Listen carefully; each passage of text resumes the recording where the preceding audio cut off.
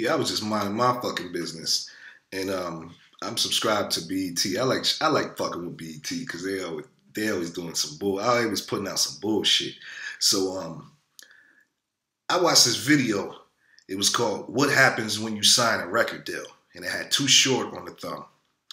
And in the video, you know, they're always so one sided. I hate when um, I don't hate shit. I just I'm you know I hate when I don't. I'm not a hater, but I don't like when like these complexes and these BT, they try to uh, make videos about the music business because they're so fucking one sided.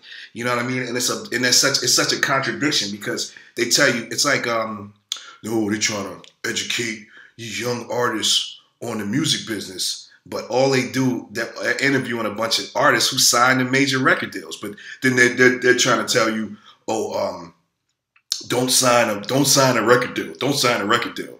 But all the only artists that uh, BET and Complex promotes are signed artists. But then y'all want to make a video telling the independent artists, don't sign, don't sign. It's like y'all are full of shit because um, it, it's like they're full of shit. You know what I mean? And they're trying now they're trying to use this whole old indie route, uh, go indie, go independent because it's trendy. But it's like at the end of the day, y'all are not promoting no independent artists. So for y'all to make a video talking about some don't sign, don't sign, they don't sign your life away. What the fuck are you talking about? You know what I'm saying? Like, excuse me, I got fucking nose hair. I keep fucking my nose keep itching. Yo, if you're an independent artist and I and I and I pull up on you and I pull up on you with, with, with like 30 with like 30, 40 bands you're gonna sign this fucking deal. You ain't about to be, you know what I'm saying? Because at the end of the day, you know what I'm saying? Like people be fucked up. People be fucked up. You you trying to make music and you trying to you trying to make a name for yourself, and you might not have no money.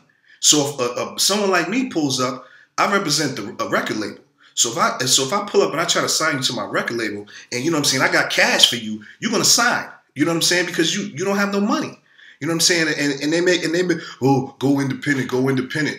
But you got Too Short on there, who's been signed to like 20 record labels. This motherfucker been signing to record labels since he was a teenager. Now he's 50 years old, and you want to put him on as the person to say to let you know, oh, go independent, go independent. It's like y'all are full of shit. Y'all are full of shit. Y'all do not promote independent acts. So now it's like it's it's so it's like now y'all want to capitalize off off of my lane. You know what I'm saying? Talking about the music business. You know what I'm saying? Y'all are full of shit. You know what I'm saying? It's like if you're an artist, uh, you got you better sign with somebody because at the end of the day, if you you know, it's some people that could do it, but I can't really think of any. I can't think of any artist that's truly independent that doesn't have a manager, that doesn't have a graphic designer. He don't got a videographer. He just uses random videographers. Anybody who came up in the business, they had a fucking team. It was people behind them.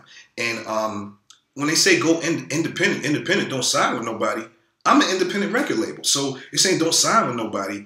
It just it's a big ass contradiction, and it's like it's full of shit. You want to ask D. Dot Angelettie, you know, someone who signed a record deal 30 years ago, 20, 30 years ago, and, and try to make it seem relevant now. Like it's it's different situations. The music business is different. The way money is made in the music business is different. So yeah, there's 360 deals, and people be going after publishing, but that doesn't make the uh, the record labels a bad bad. You know what I'm saying? It's like this whole, oh, the Ricky Label, they're like pred- they're predators. What about these artists? I think some of these artists are fucking they're predatory. You know what I'm saying? They're trying to get over on people who who uh, want to invest in them, and then when it's time to, to, pay back on the investment, then they want to look at you like, what the, who the, you know what I mean? It's it, it's like um, it's it's bullshit.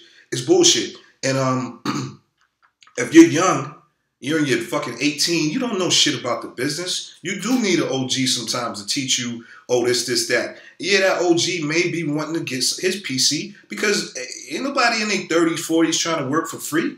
We got to get money, man. We got kids and shit.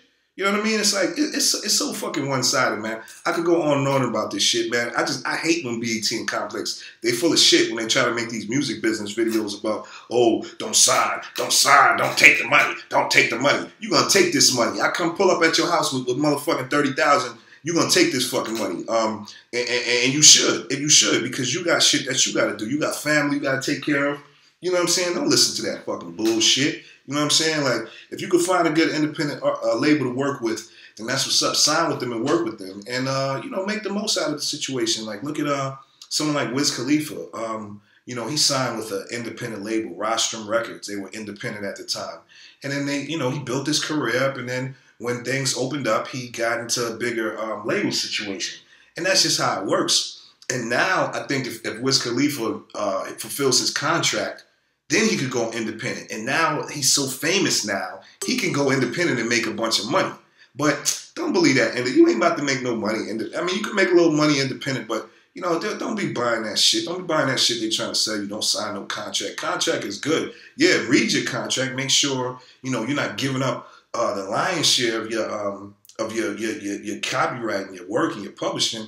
But don't don't don't believe that shit, man. Uh, joint ventures are the shit. You know what I mean? Like if, if you know, I like 50-50 partnerships. You know, um, don't believe that shit you see on the fucking complex BT. They're full of shit. That's the that's the biggest place of misinformation on the fucking internet, the mainstream media. Don't believe that shit. Don't sign a fucking record deal. You, you, you fucking sitting at home hungry. Your mom fucking about to lose her house, and fucking Diddy pulls up with fifty thousand for you. You better sign that motherfucking contract. You better make the most out of that shit. I don't know the fuck they talking about. Like when you broke and you hungry, it's it's so easy to get all these artists that's millionaires now to get in and talk bad about the record labels after they fulfilled their agreement. Or it's so easy for someone who's already had a hundred thousand dollar check to tell you, oh, don't do this and don't spend, don't go to the Gucci store and buy a fucking uh, $500 scarves because it's a waste of money. It's so easy to say that, but when you don't got a fucking Gucci scarf, you want, you know what I mean? It's like, uh, don't believe that shit, man.